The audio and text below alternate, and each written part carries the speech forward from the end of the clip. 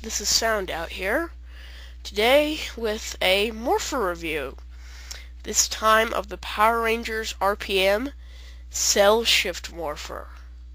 This just came out in the fall line or the spring or the winter line for um 08. It retails for $13. You can get it at most Walmarts, Targets, and Toys R Us's that's the right thing. Um, this is really cool. The Japanese counterpart to this is called the GoPhone and works with the um, electronic engine cell engine souls. For America, they have engine cells, and as you notice, they are thin pieces of plastic with a sticker on them. That's okay. They're differently engraved on the bottom, so activates different sound effects. This and the rev shift morpher, according to the um, according to the commercial, it's rev shift morpher. According to package, it's rev morpher. We'll have to see. This is um, they they're sold in these very cylindric packages. Whoa. And um, so that's it. This one comes with three the Rev Shift Morpher comes with two engine cells. Um, these are this one includes the morph key for the cell shift morpher, the number two key for the um, lion hauler, number three key for the bear crawler, and those will fit inside the Zords. Uh, regarding that, I won't be doing the high octane Megazord till after the show's premiered, because I think they're going to have different names in the show for the Zords. Anyway, onto the rev or the cell shift morpher itself. It's got the Go-onger G, which is also the symbol for RPM. These lines, kind of a track feel. The back isn't painted at all, but it's got detail.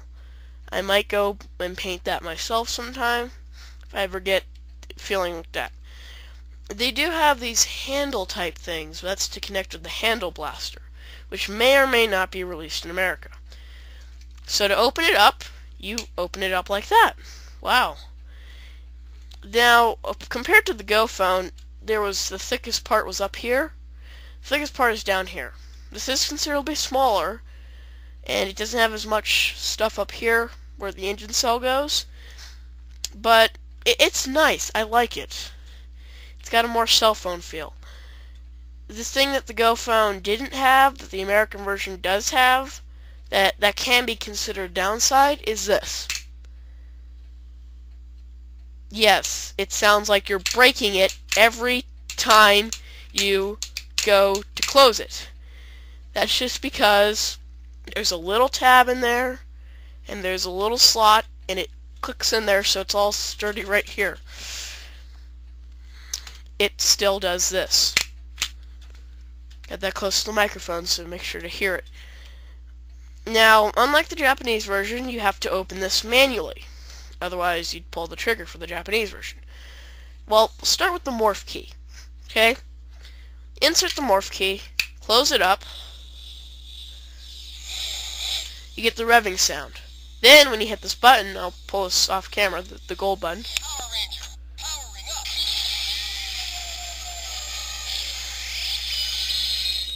You get the morphing sound effects, including some of the sound effects in the Japanese morphing.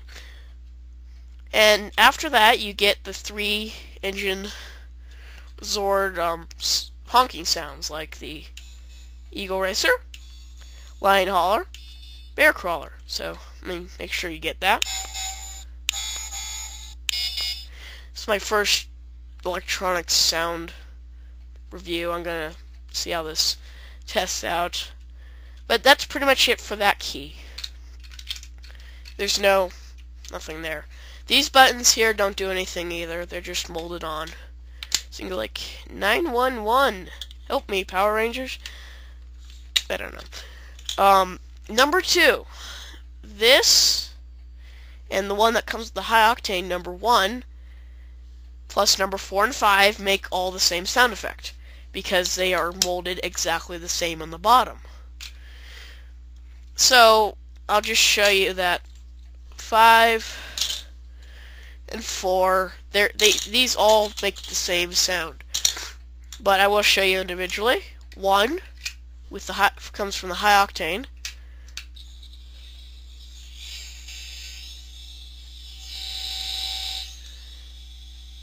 And it keeps going until you do hold the button. So you press it again.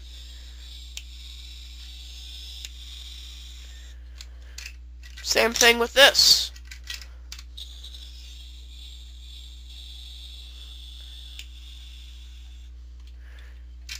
Number 4 does exactly the same thing.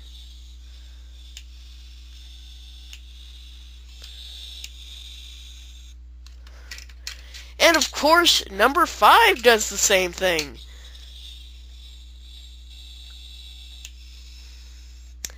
This is the one complaint I have about the toy. You have four engine cell keys, and they all make the same noise. I'm sure there could have been another another program into this. It would have been nice. I don't know, maybe cost expensive, but it would have been nice. But number three, number three is different. You put it in, and you get this calling sound. Press the button.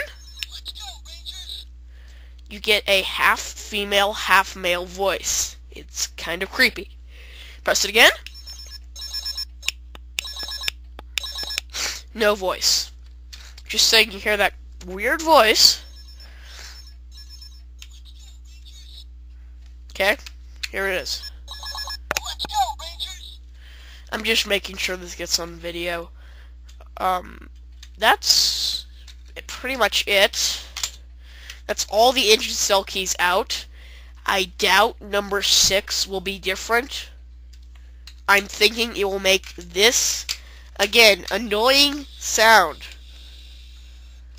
Like the engine souls and the Go phone make whenever you put them in and then rattle it around. It goes blue, blue. I don't have the Go phone and I'm happy I don't. And, of course, green morph key.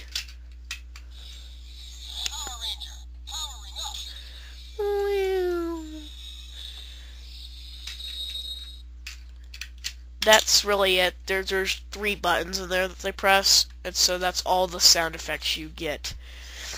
I'm thinking they could have done more. If it was twenty dollars, then yes, I see how they probably would be like thirty dollars to get all the different sound effects possible. Um, but it's nice. That still bugs me. That's the only two complaints. Lack of sound effects crickety crackety noise whenever you close it. But it's nice you do get the two engine cell keys. I mean, just to show you that engine cell keys do fit in Zords, I have the Eagle Racer here. See, you can like fit anything in there. And you won't get a Japanese guy talking to you in a weird voice if you put the wrong engine cell in. See, wee. Go forth. But more on him later. Um, that's all I really have to say. It's a really good morpher. I would recommend it. I'm going to give it 4.5 out of 5 stars. It does include a sticker of the Red Ranger holding the morpher. That's it. I'm got this one coming up of the Rev Shift. I have it, so I'm probably going to do that one next. But one interesting note is that the box here on the, the, the lion's face, it says Go-onger. Can't see that on my camera though, but anyway, this has been Sound Out with a great review of a cell shift morpher. RPM, get in gear!